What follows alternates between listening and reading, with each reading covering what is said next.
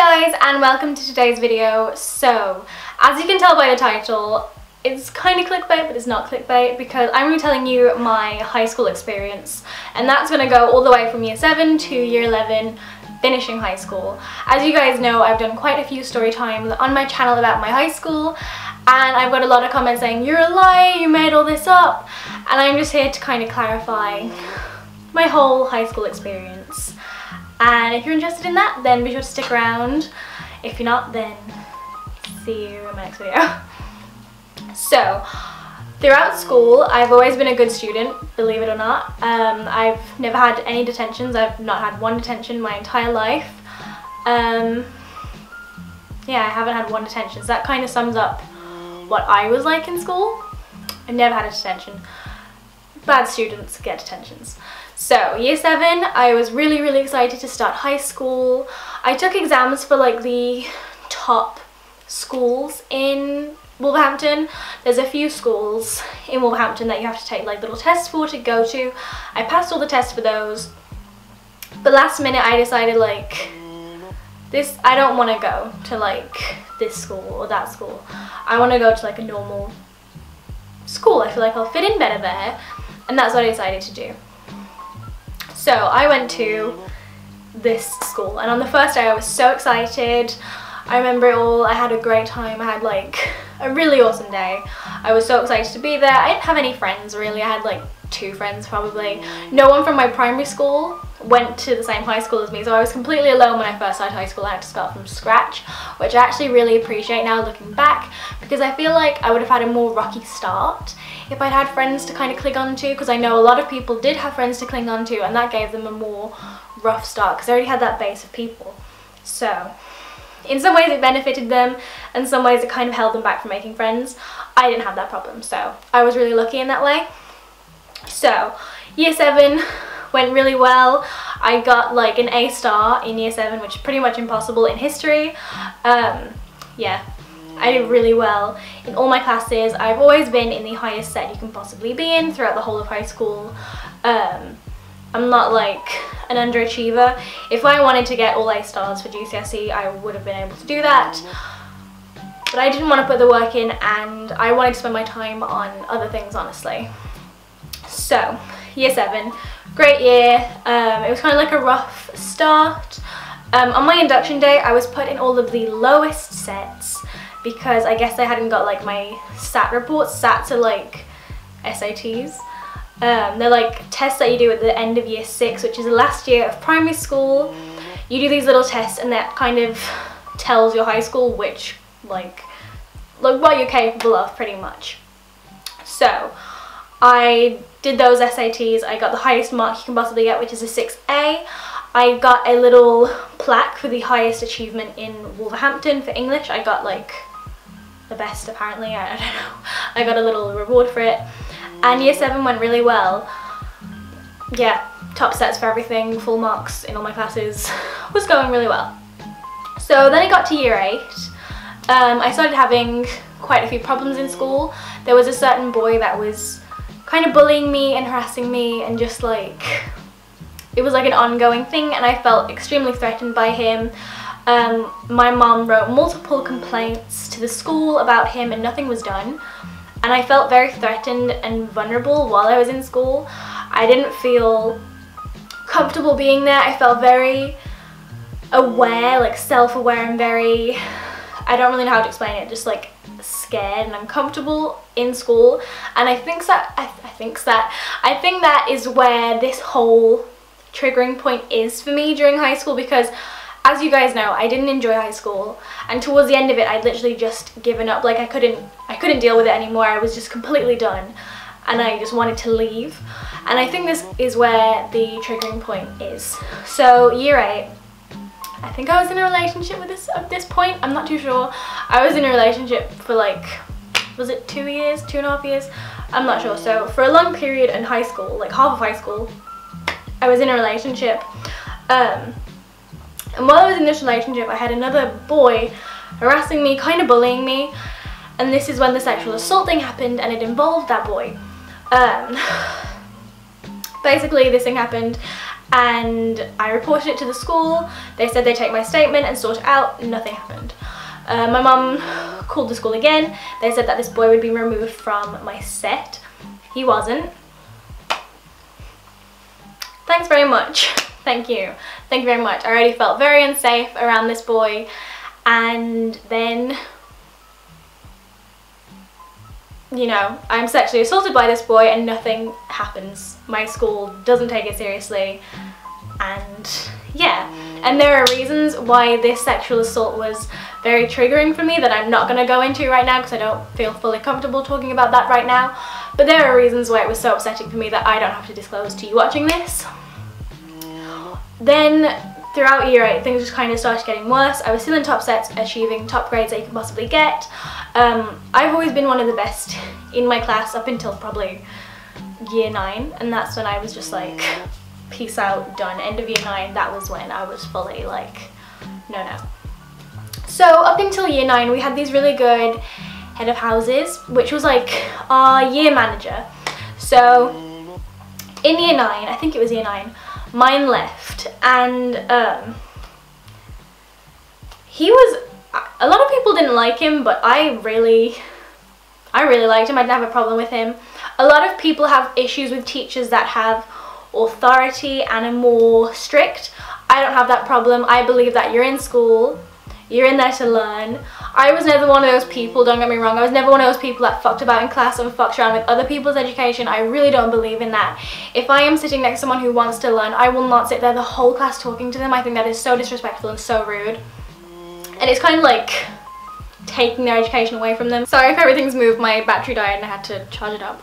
So as I was saying, I think it's so disrespectful to kind of interrupt someone's education. I'd never do that and that's a piece of advice to you. If you can see that the person next to you is really trying to listen and you keep trying to tap them on the shoulder and interrupt them, like, what are you doing? Like, what are you doing? Please don't do it. Um, also, if you're the type of person that's like the class clown, um, I was pretty funny. I, I might have been voted funniest if we had that. I was pretty funny. People used to laugh at what I said.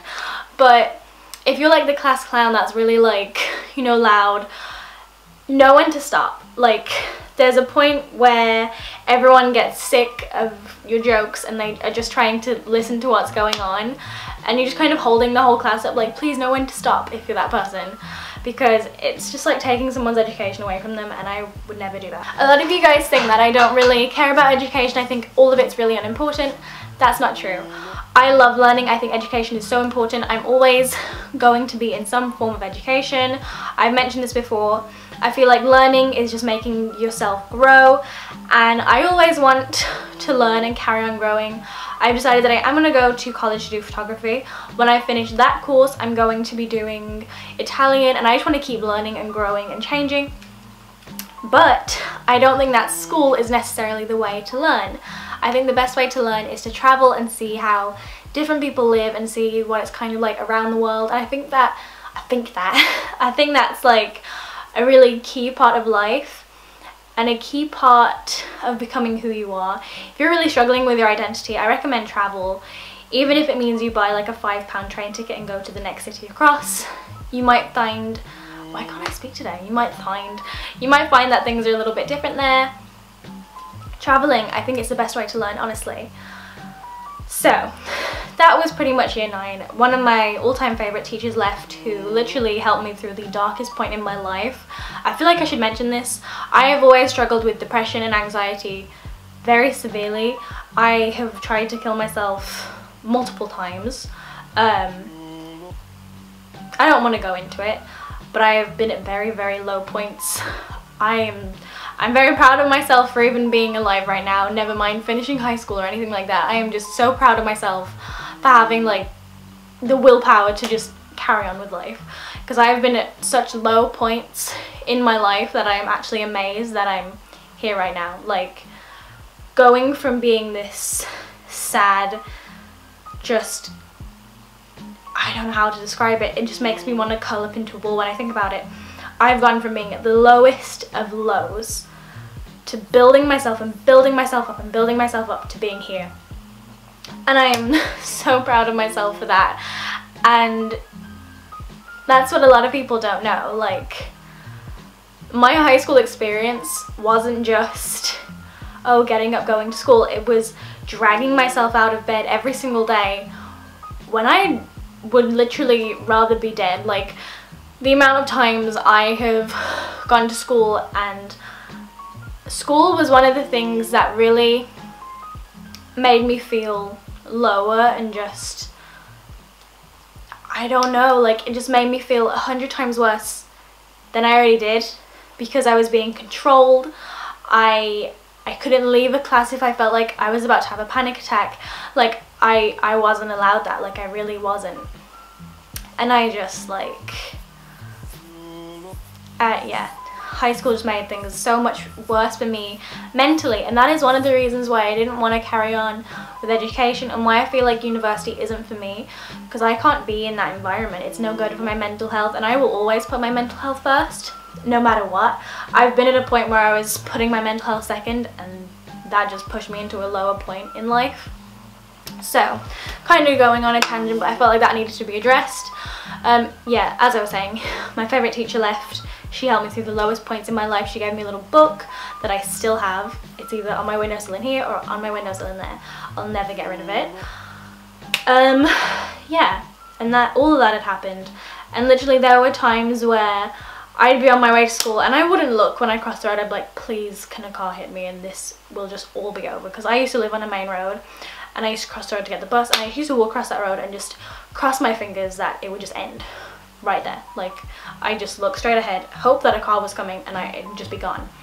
And that is that was my mentality for the majority of high school. And I felt like that needed addressing. And that is one of the reasons why I achieved less than I should have. To me, it's a brilliant achievement. I achieved what I needed to go to college and I'm really happy with my results. And you guys know I don't think GCSEs are uh, the be all and end all in life. I don't think they're as important as everybody says they are. They will make things easier in life, but overall, you don't you don't need them. Don't worry if you got really bad grades, you don't need them. So that was that year nine. That was just kind of like the tipping point. I was year eight was the tipping point. Year nine was like last straw. I've had it. So, start of year 10. Year 10, I think, was when we had all the problems. So, start of year 10, um, we had this new system and things had kind of changed. I came back after the summer of year 9, came back into year 10 and everything was different and I was just like, whoa, I felt like I was in prison. In my high school, I don't know if it's the same everywhere, but in my high school, you go in at 9 o'clock and you leave at 3.30 and you're not allowed out of the building until that bell goes at 3.30. It's like being in prison. It really is. You can't wear your coat on inside.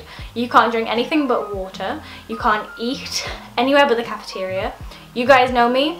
I don't drink water and I also suffered with severe migraines and stuff like that. And when I have a migraine, if I don't drink, it makes it worse because I get dehydrated and I wasn't allowed to drink. My mum wrote notes saying she doesn't drink water. If you do not let her drink, she will pass out and that will be your fault. They completely ignored it. Um, I had multiple times where I felt like I was going to faint or felt very sick and ill because I wasn't hydrated. I couldn't drink from 9am until 3.30pm.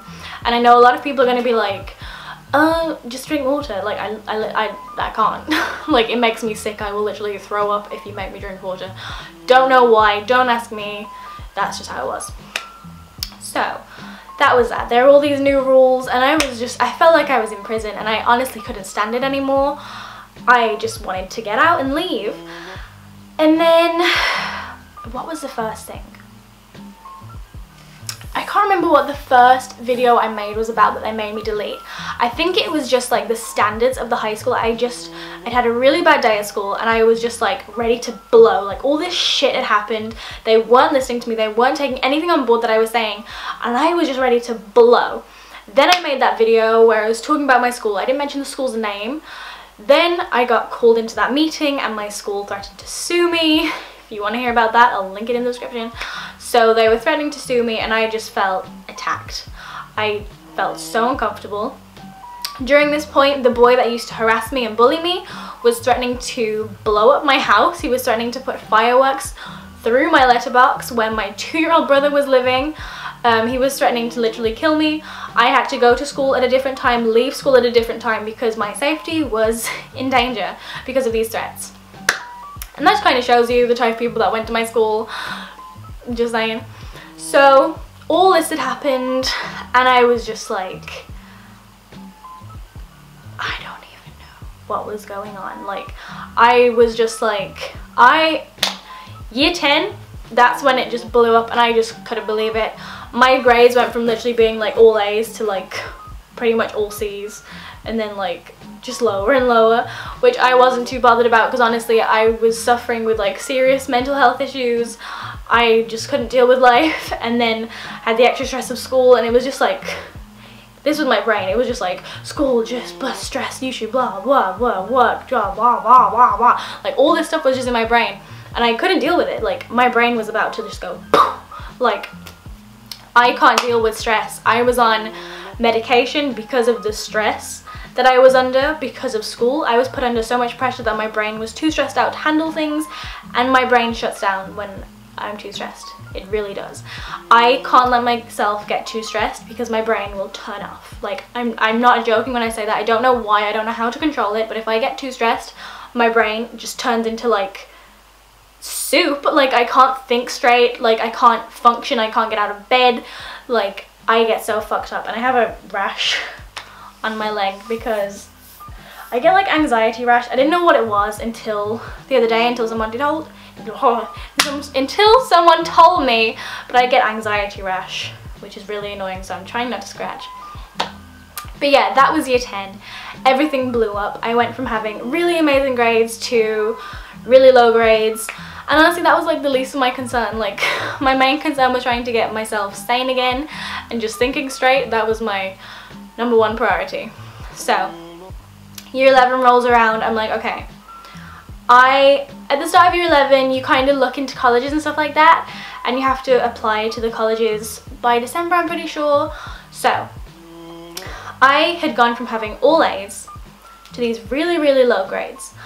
And then in year 11, I went to the interview to the college that I want to go to because I wanted to do level 3 um, photography, which is a diploma in photography, which is really, really good. And it's the highest course you can go on. And I really wanted to do that, so I wanted to see the requirements, what you needed. And they basically told me you need four HCs, including English, Maths, and Art. And I was like, okay, sorted. So they were telling me about this course, they're telling me how you go to Italy for two weeks and work for Vogue and I was just so excited. I was like, oh my god, this sounds amazing, I can't wait. And that really motivated me and pushed me to work for the grades that I got.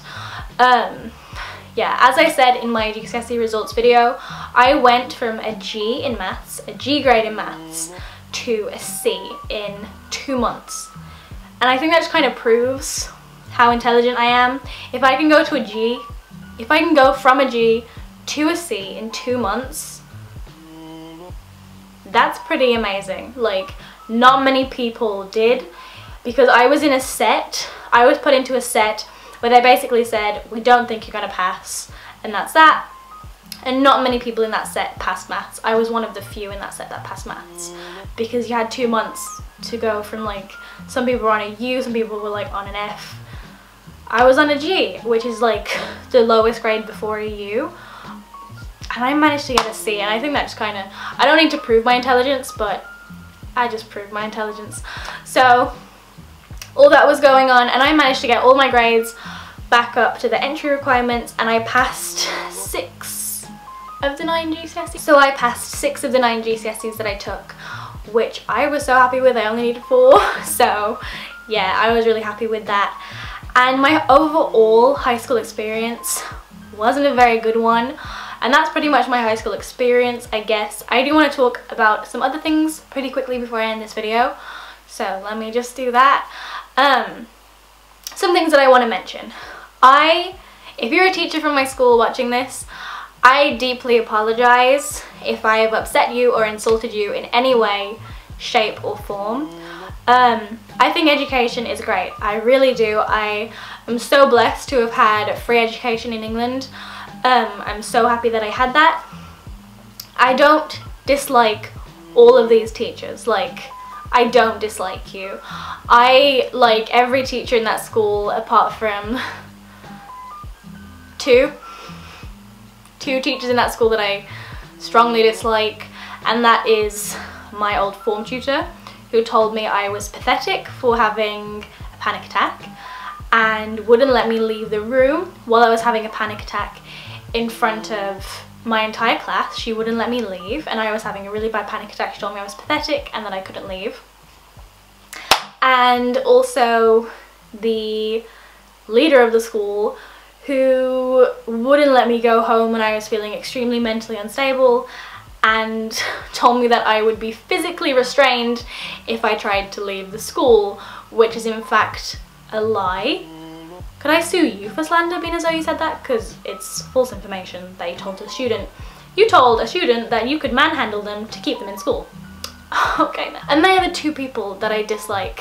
Everybody else, thank you so much for teaching me. Honestly, I enjoyed the majority of my classes. I really did. I love my art class. I love my English class. I love my history class. Like, I really did. And I just want to say thank you to a lot of the teachers that I had. You know if I liked you, I think you know this. But I just want to say thank you because you were great teachers, you did a great job. And yeah, thanks. Thank you to my maths teacher as well because honestly I wouldn't have passed math without you. So yeah, disclaimer, I don't dislike every teacher.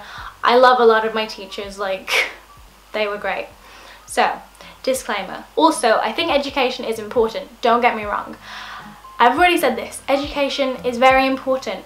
Don't think that I'm giving you the message to drop out of school and just stop going to high school, but I do think that high school needs to focus, or just schools in general need to focus on more real life things. I recently moved house. I had no idea about council tax. I didn't know how to apply for a house. I didn't know like how to get electric. I didn't know how to get my internet. Like there are a lot of things that you're not taught. Like I have no idea what to do if my car tire pops. I don't know how to change a tire. That's like something that you need to know in life. And I don't know how to do that. There are a lot of bare necessities in life that I've never been taught and I don't know how to do them. So I feel like some schools need to focus on that a little bit more. Maybe all schools. Also, I think you need to take into consideration that a lot of younger people shh please a lot of younger people in the high school age do suffer with some type of anxiety or they're just stressed. High school is so stressful. I don't think you realize the amount of stress that is put on high school students. It is so ridiculous. Like, I felt like I was having a meltdown for the entirety of high school and I just, I didn't know how to help that. And I feel like if you gave classes on how to reduce stress or what to do if you're in this mental state, when I was trying to end my life, I I didn't know that there were helplines that you could call. I was never taught that and that's pretty fucking valid information that I need to know. Like, I don't know CPR. The only reason I know CPR is because I've seen it on movies. Like, you should teach things that people need to know. Like, there are so many useless things that you teach, but I don't know the bare necessities of life. And I just wish that school was more life orientated and it kind of taught you how to live because I just learned that pi is like 3.14 and to find like the radius of a circle you do like pi r squared like please I just I want you to focus on things that people can actually use. And I'm sure I'm not going to make a difference to anything but you know it's worth saying something. But moral of the story um, I wanted to cover things up because a lot of people were saying you're a liar blah blah blah. You lied about your whole high school experience blah blah blah. I'm not a liar like this is what it was this is how it was. It wasn't all bad so I guess you can say I'm giving you like a false idea of what my high school was like like. But I'm sure no one wants to hear a story time about the time I got an A star in history when I was in year 7 like nobody cares about that. So that is my video for today. It was very like unplanned and just random in my head but I really wanted to get all of this stuff out of my head and into a video and this video was also requested. So that was my high school experience. This is my advice for high school. And